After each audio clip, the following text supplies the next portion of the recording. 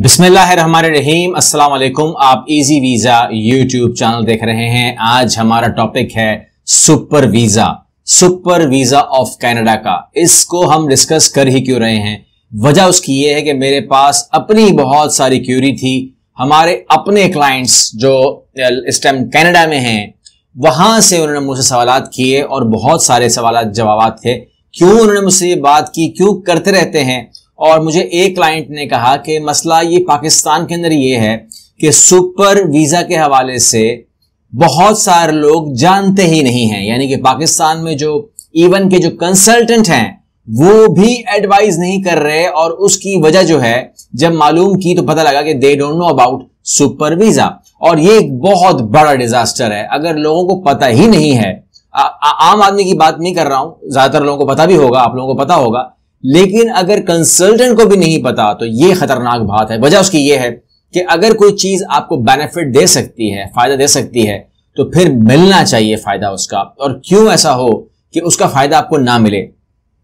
जो super visa है, ये एग्जिस्ट करता है, जी हाँ, करता है, कोई नई बात नहीं है। अच्छा मैं, आप जो लोग कनाडा में हैं, जो मेरे क्लाइंट्स हैं कनाडा में हमारे क्लाइंट्स हैं, वो लोग इस वीडियो को मेरा रिप्लाई मान लें। वो लोग ये देख करके इसके ऊपर अपना एक्शन ले लें।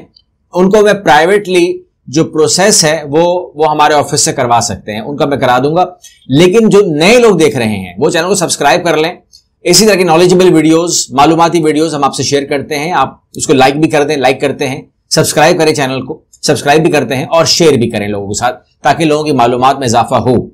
और जो भी आपको मैं कह रहा हूँ, ये कैनाडा डॉट सी के पहले से अवेलेबल है। मैं जो बात कर रहा हूँ, नई बात नहीं है। क्योंकि इस वीजे को जब से ये लॉन्च हुआ था 2011 से हम तब से प्रैक्टिस कर रहे हैं। हमें प्रैक्टिस करते हुए दस साल हो गए लेकिन मैं हैरान हूँ, क्योंकि हम लोग उसको प्रैक्टिस या आप सवाल कर सकते हैं, कि हमने डिस्कस क्यों नहीं किया पहले इसको? डिस्कस इसलिए नहीं किया क्योंकि ये एक ऐसा वीज़ा है जिसको हम डिस्कस मैं समझ, समझता था कि करने की ज़रूरत नहीं है, ये हमारे और मैं जानू, मेरा क्लाइंट जाने वाली बात थी।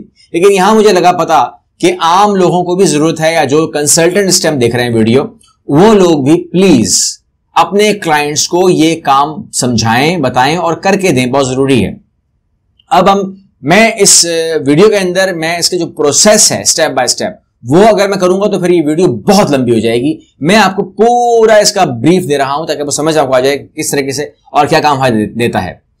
आप जानते हैं कि जिनके बच्चे मान लीजिए बच्चे जो हैं, वो जो कनाडा में रेजिडेंट हैं पीआर हैं, रहते हैं, जो भी पोजीशन है उनकी तो वो लोग अपने पेरेंट्स को या ग्रैंड पेरेंट्स को बुलाते हैं। और देखा यह गया है, जो जो मुझे बताया गया कि वो वहाँ पर जब वो पेरेंट्स पहुँच जाते हैं, जब वो हमारे लोगों से मिलते हैं तो कहते हैं कि जी, हम विज़िट वीज़ा के ऊपर आए और छह महीने में हमने कंट्री छोड़नी है। तो ये एक डिजास्टर है। यानी कि ये खतरनाक बात है, जो मुझे कंप्लेन मिली।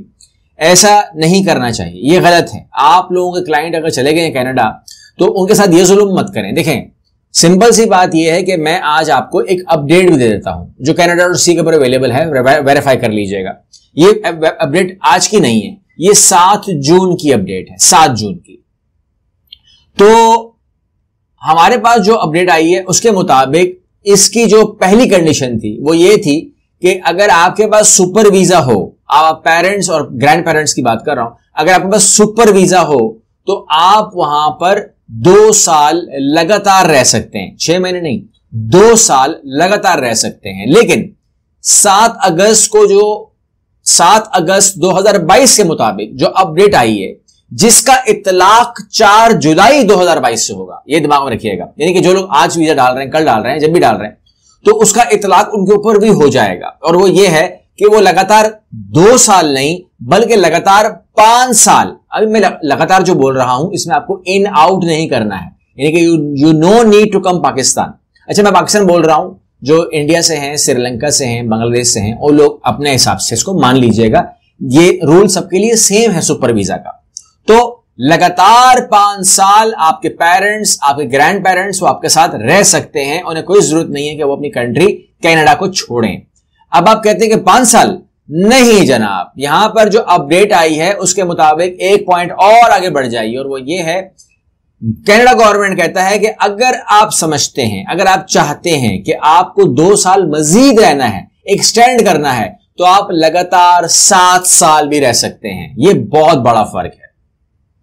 कहा दो साल और छह महीने तो छोड़ दीजिए ना, वो तो आपको जिसने किया है, वो जुल्म किया सात साल रह सकते हैं दो साल की जगह तो ये बहुत बड़ा बदलाव है। मैं थोड़ा सा आपको ब्रीफ दे दूँ, ताकि इसकी फ़ीस के बारे में आपको इलम हो, क्योंकि आपने अप्लाई करना है तो आपको पता होना चाहिए, क्योंकि कंसल्टेंट तो कुछ भी आपसे ले लेगा।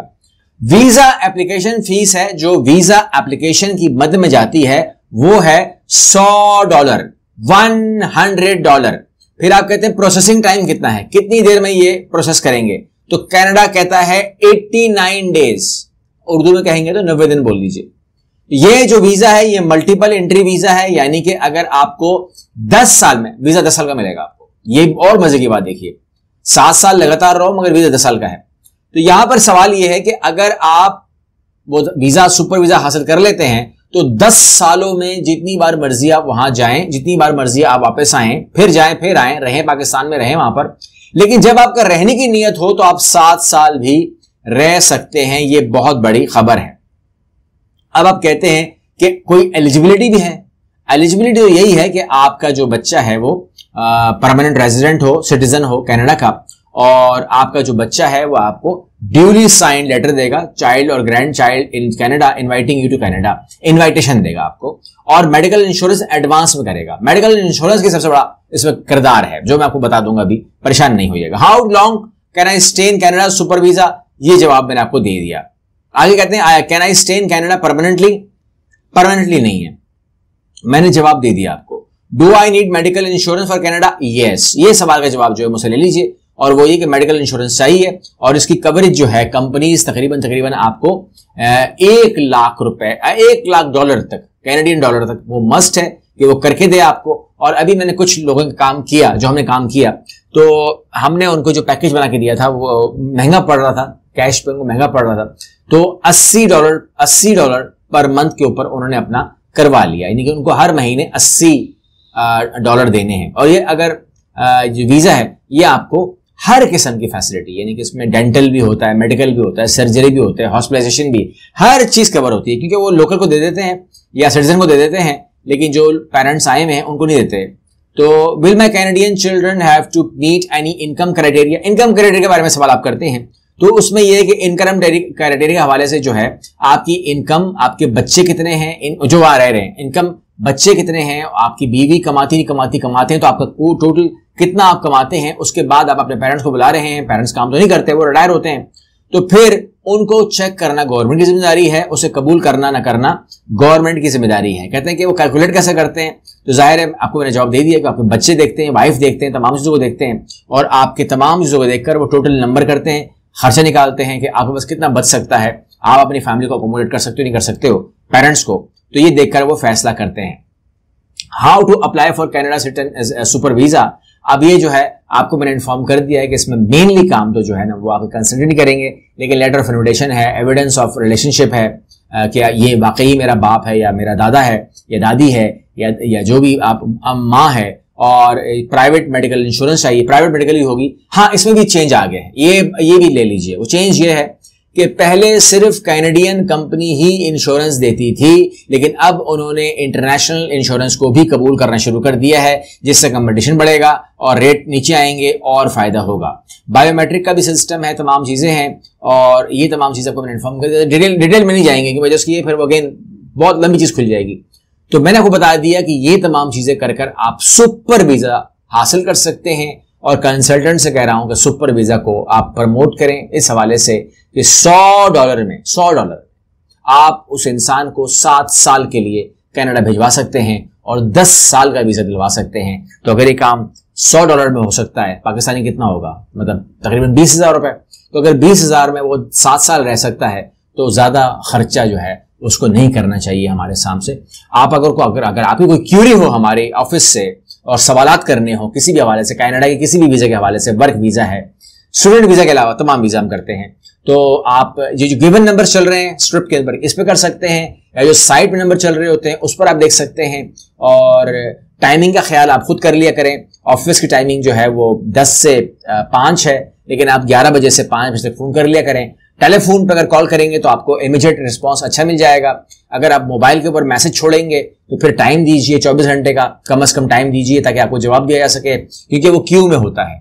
और व्हाट्सएप के ऊपर कॉल अलाउ नहीं है, ये आपके दिमाग होना चाहिए। रिप्लाई हम सबको देते हैं रिप्लाई लेट हो सकता है रिप्लाई फ़ोन बाजूकात बहुत बिज़ी होता है स्टाफ बिज़ी होता है मीटिंग्स के अंदर कॉन्सुलेट में एम्बेसी के अंदर, या बाजूकात केस बहुत ज़्यादा लगे हुए होते हैं तो शॉर्ट हो जाता है स्टाफ क्योंकि वो काम में लग जाता है। तो इसलिए पेश की माजरत हमारी कबूल कीजिए। लेकिन जवाब हम देते हैं। अगर आप टेलीफोन करेंगे सैटरडे संडे के अलावा तो आपको रिस्पांस फिर भी जल्दी मिल जाएगा। बाकी अगर व्हाट्सएप कर दिया करें तो फिर थोड़ा सा वेट किया करें, क्योंकि यहाँ पर जो है क्यूरी एक दो चार नहीं है। यहाँ पर सैकड़ों के हिसाब से होता है और हमको सैकड़ों के हिसाब से देखना होता है। आप, उम्मीद करता हूँ आप समझते हैं इन बातों को। अगली वीडियो मिलते हैं। अल्लाह हाफिज़।